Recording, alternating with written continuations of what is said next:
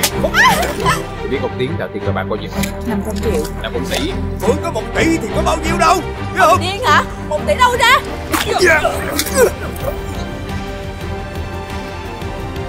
Sao ba lại ra đi đồn đồn như vậy ba? Sao ba không chờ con về?